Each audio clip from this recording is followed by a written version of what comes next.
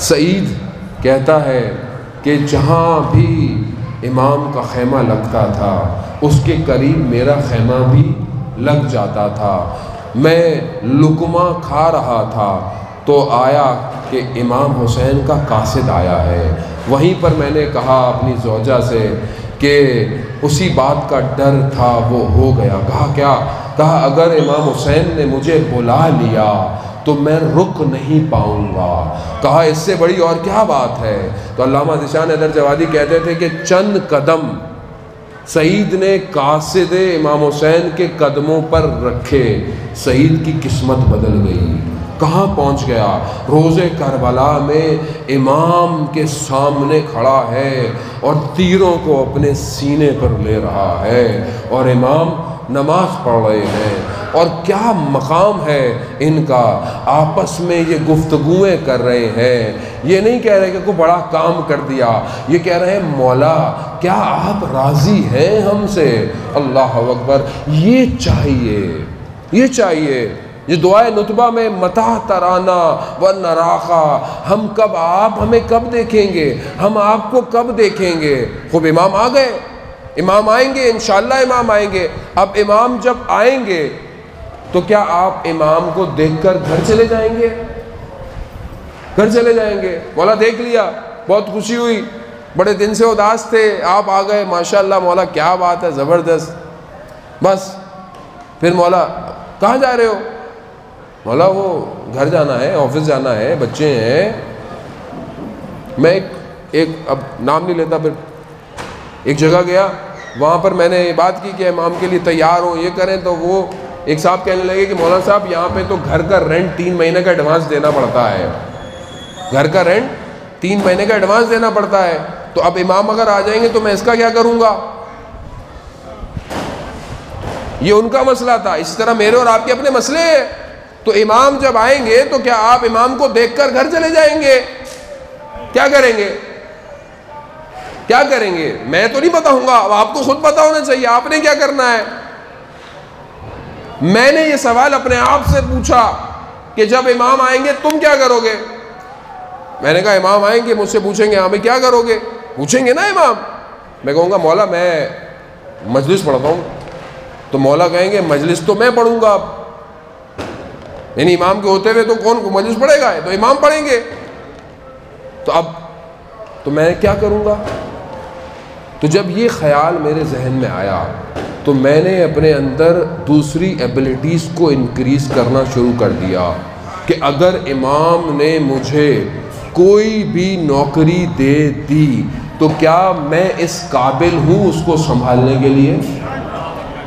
कोई भी नौकरी दे दी। अब कुछ तो मुझे बनाना है ना। कुछ तो मैं कहूँगा कि मौला, यहाँ ये कर सकता हूँ। आपकी इस हकूमत के फलाने फलाने डिपार्टमेंट को संभाल सकता हूँ। भैया एबिलिटी पैदा करें। शहर को कौन संभालेगा? और वो शहर, वो जो शहर होंगे, वहाँ पर एयर ट्रैफ़िक मैनेजमेंट कौन पड़ेगा हवा में हवा में उड़ेंगी ना गाड़ियाँ। ज़मीन के अंदर टनल्स के अंदर सिस्टम क्रिएट किए जाएँगे। इन्वायरमेंटल कंट्रोल होगा। क्या पढ़ रहे हैं हम लोग ये सारी चीज़ें? ये सब्जेक्ट्स हमें पढ़ाए जाएँगे तो 40-50 साल बाद होंगे।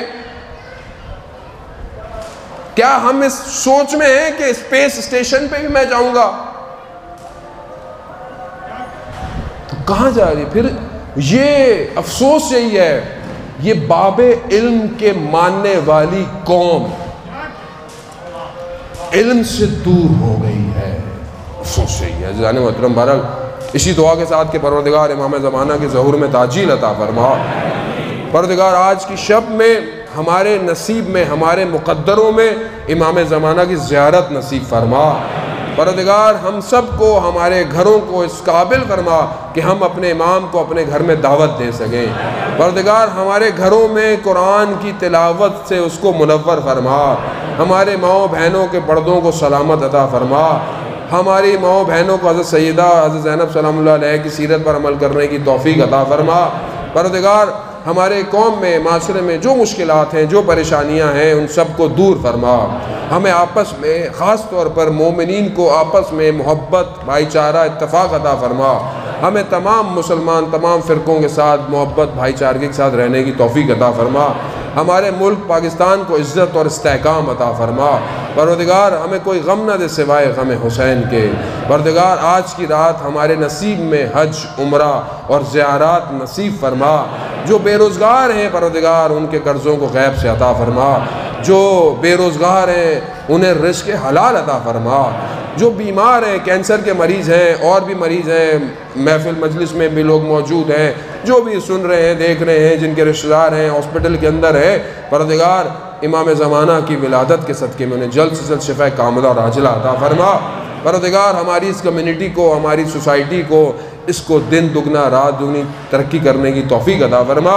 जो भी इख्तलाफात हैं हमारे मोहल्ले में, जो भी जिस तरह के उनको हमें मोहब्बत के तरीके से हल करने की तोफ़ी अदा फरमा। परदिगार जो भी जिस तरह इमाम ज़माना के जश्न हो रहे हैं, जहाँ भी उनकी विलादत के प्रोग्राम हो रहे हैं, इंतज़ामिया ट्रस्ट शख्सियत, इदारे, बानी जो भी शख्स अपनी ड्यूटी, साउंड वाले, वीडियो वाले, जो भी अपना किरदार अदा कर रहे हैं परदिगार इन सबको इमाम ज़माना के सदक़े में, इन सब की तोफ़ीक़ात में इजाफ़ा फरमा।